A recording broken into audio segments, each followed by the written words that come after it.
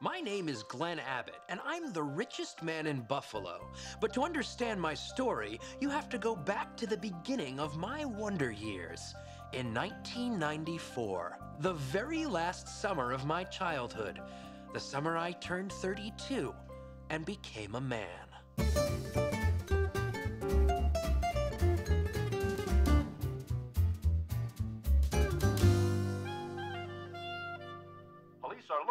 O.J. Simpson, hoping to interrogate him on his whereabouts. That's crazy. O.J. Simpson couldn't hurt a fly. Look for the real killers, you stupid.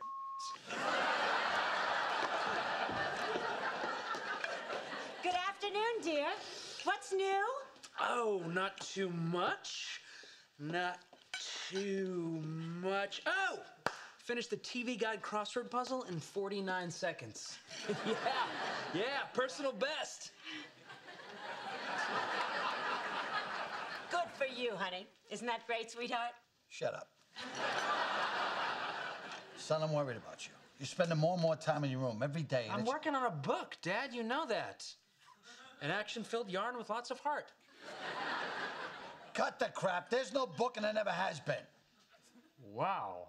Dad, you know what? Frankly, I find that a little insulting. Oh, yeah? Well, what's the title?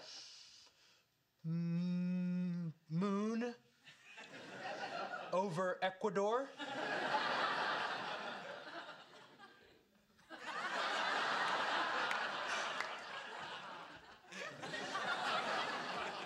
Every year it gets worse. First, you had to check your pulse every two seconds. Then you decided you could only use the crapper downstairs. Then you just lay in bed all last summer, obsessed about the death of Hervé Villechaize. Hervé Villechaize! Honey, that was so sad. He shot himself in his itty bitty little midget chest.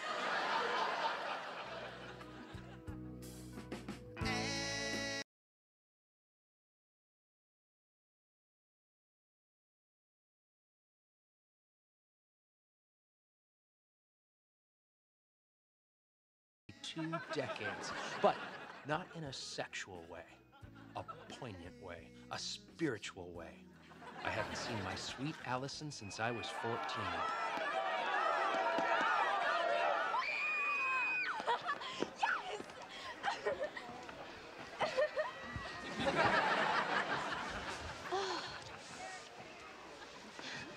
You look radiant. uh, so do you. I just got my hair done. it's even more lustrous and beautiful than yours. Oh, Holy Mother of God! I'm sorry. Oh. Great, thank you very much. I think that box goes in the kitchen. There's another one that goes in the back bedroom. Great.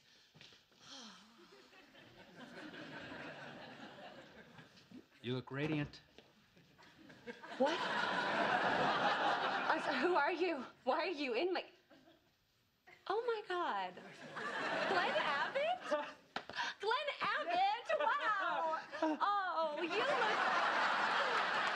You look good. I just got my hair done. Oh. Oh. No, get it? I said that to you at the game, remember? October 11th, 1976. So what brings you back?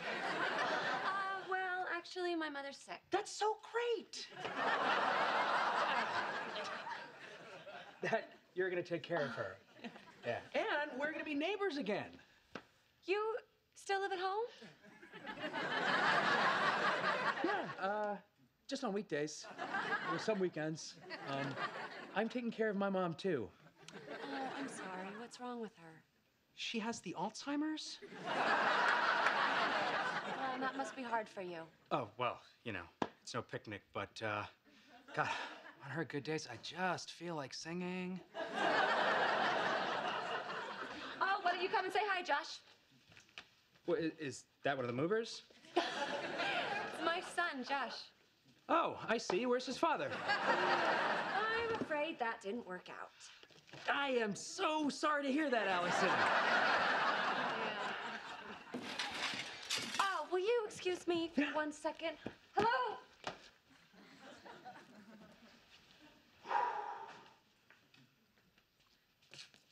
So, what are you nervous about going to a new school or something? School sucks.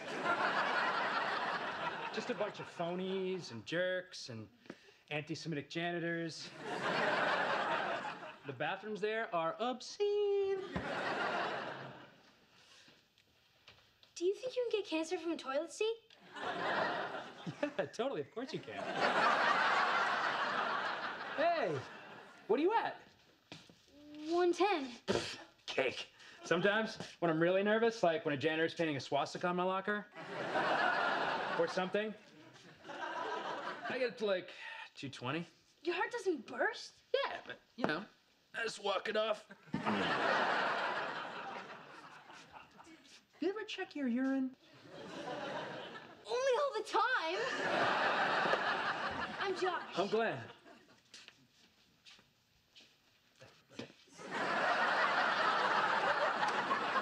Two twenty. Wow. That was amazing.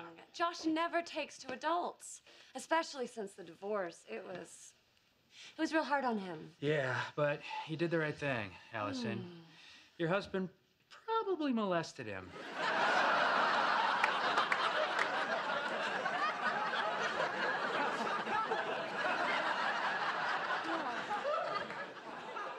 You know, I don't know what I ever even saw in the Donnie.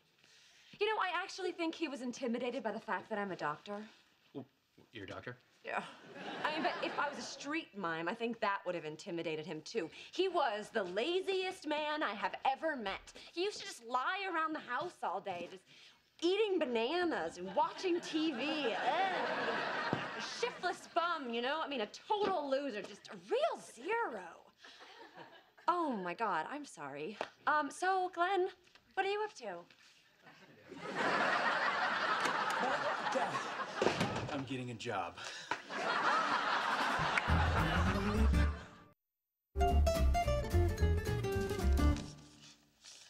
Hotel concierge. What the hell is that? Why don't you get a job as an impressionist? What? Glenn used to do the most wonderful impressions of Howard Cosell and Richard Nixon. You could be on David Letterman. I'm here with heavyweight pugilist Richard Nixon. oh my God, that's dead on. Here, right here. Cashier at Burger King. Bring me home some fries.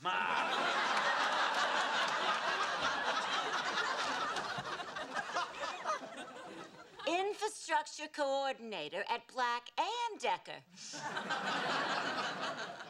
you were always so good at infrastructure. Infrastructure coordinator. I have big news, Allison. I'm the infrastructure coordinator at Black and Decker. Oh, You're the 100% opposite of Donnie. I love you. Let's get married so you can comb my hair and touch my cans.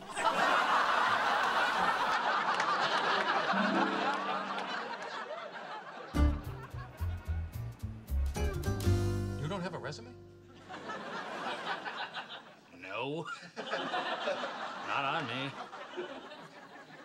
Tell me about yourself. Okay. Uh, I like football, jazz. Um, favorite actor Steven Weber. He's a real chameleon. I understand he's a song and dance man too. Please get out.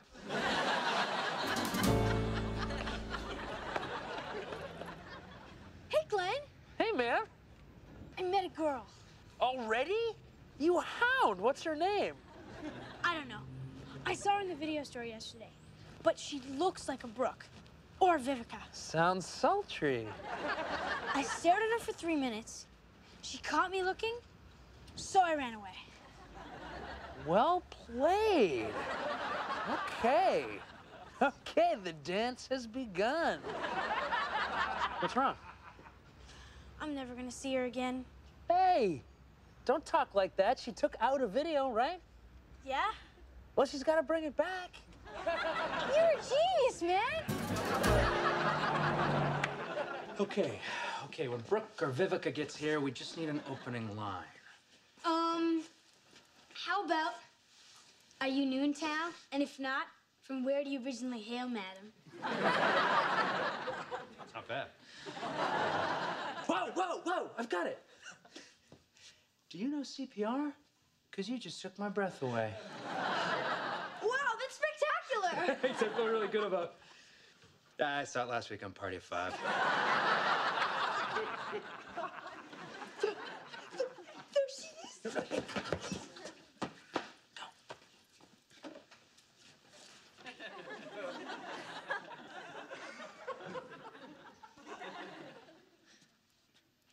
Malcolm X, huh? I, uh, I hear that really sticks it to the honkies. Uh, yeah, I heard it's kind of good. Do you know CPR? Because you just took my breath away. That's kind of cheesy. Then how come it was on Party of Five? Tomorrow, six o'clock, you're coming over for dinner and a movie. And who knows, maybe some charades. You're weird. I'm well aware of that. No, I, I meant weird in a good way. Look, my name's Vivica.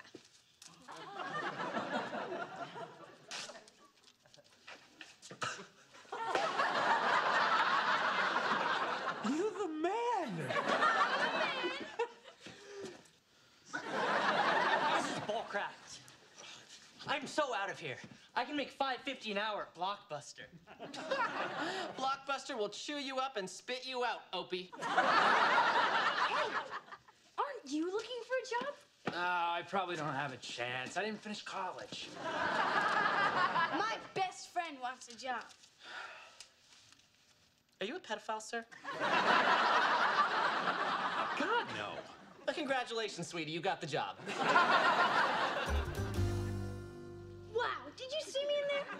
Because you just took my breath away. I killed with that line. Slater, I did. Hey, it was my line. It was Scott Wolf's. Well, I quoted it. Why aren't you happy for me? I'm happy you got a job. I know. It's just that, well, it's humiliating. Okay, you're like half my age. You've already got your dream girl, and it's gonna be another Saturday night alone for me. Tell you what, champ. Why don't we double? A double date, huh? That would be cool. I could ask my history teacher something. She's kind of cute. She's black. Is that okay? No. I mean, I mean, it's just that there's kind of someone I hadn't. Oh, hey, guys. Whoa! Were you just like doing surgery or something? Oh, actually, I bought these at a costume shop the other day. I was hoping it made me look smart. hey, sweetie. Ma, guess what? What? I got a date. Oh my God, honey, that that is terrific. Um, where'd you meet her? At the video store with Glenn. You should have seen me, Ma. I was on fire. Every line of Maserati. Well, I believe it. You can be very charismatic, honey. Oh, and Glenn got a great job. Oh, that's fantastic, Glenn. Where? I'm the um, infrastructure coordinator at Black and Decker. Wow, good for you. Uh, will you excuse me? I'm just gonna go check on my mom. You like my mother. So totally shut up. Glenn loves my mother. Glenn loves Oh, hey, that was fast, Mom. Ma, listen. My date's coming over for dinner tomorrow. Oh, and Glenn's gonna be joining us too. Is that okay? You um want Glenn to have dinner with you and your date? No, that would be awkward. Why don't you join us? You busy? Poor kid. He is just so nervous. He doesn't want to be alone. Isn't that just the cutest? Well, well, I guess we can remember what it was like to be 14, right? Yeah. Oh, we were so young and carefree, huh? Didn't have the adult pressures we have now, what with the uh, rat, races, and war in Nicaragua, and the ozone layer, and Well, it looks like we got ourselves a double date, huh?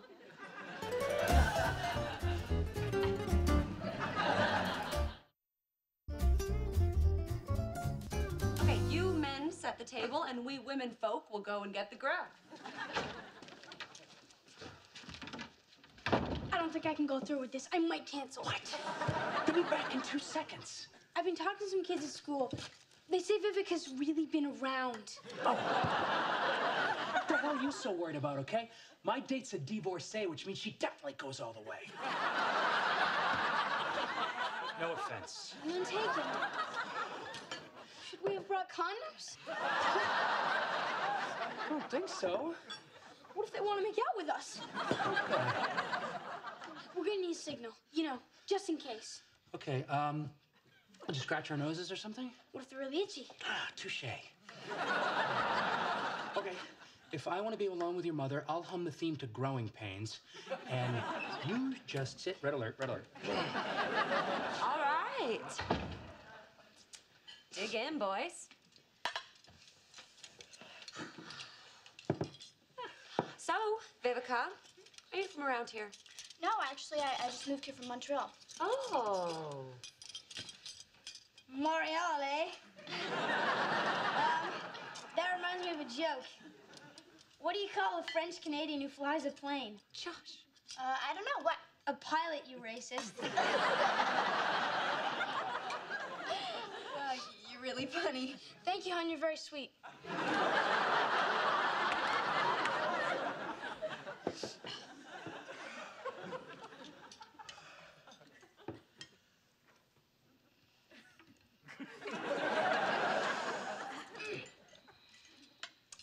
So,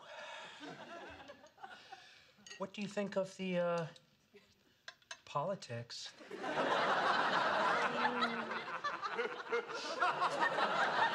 In what sense? Uh, like our new president. What do you think of him? Clinton?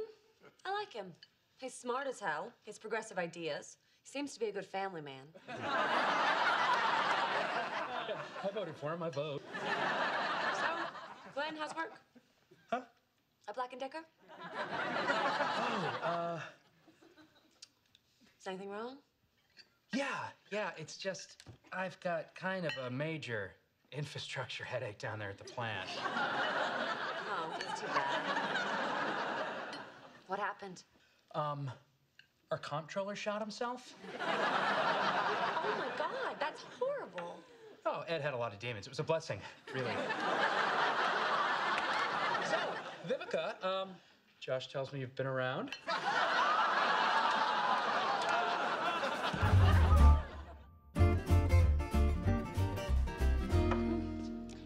if you get any on the couch. Trust me, I'm a bigger slob than any of you. Oh my God, I'm sure that's not true.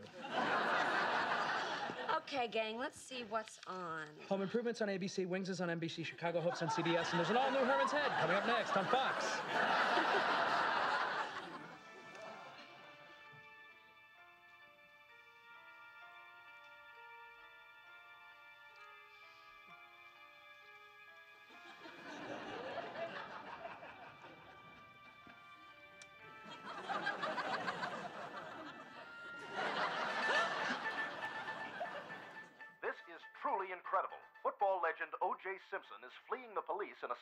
surreal slow speed chase.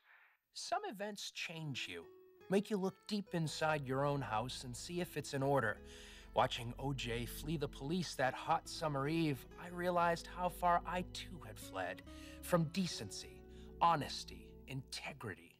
I too was on a slow speed chase from the truth. Show me that smile again. Um, By these officers to approach the vehicle. There are now, by my count, at least 15 police vehicles. Allison, I haven't been honest with you. Oh? I'm not really an infrastructure coordinator. Okay. I work at a video store. I'm so sorry. Glenn, there's nothing wrong with working in a video store. No, actually, I think that if you're over 30 and you don't have Down syndrome, then there is. No, Glenn, it's an honest job. I mean, besides, well, hey, come on, you can get us free videos and stuff. Hmm? Like, I don't know, maybe you can get me some of those dirty girl on girl ones that I'm afraid to take out on my own. I'm kidding. You're so funny. I really appreciate your sense of humor, Allison. I bet you Donnie didn't. CBS Newscopter, it's just been reported that O.J. Simpson has a gun and is threatening to harm himself. That's as far as things went that night, and for weeks I was relieved I didn't have to perform intercourse.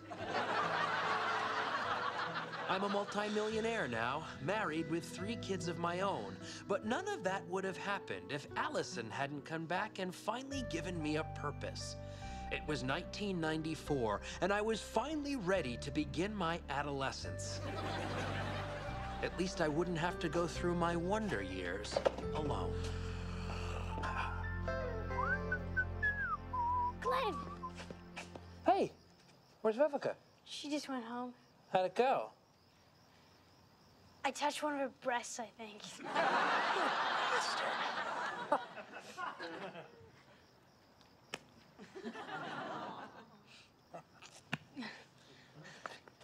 Bye. See ya.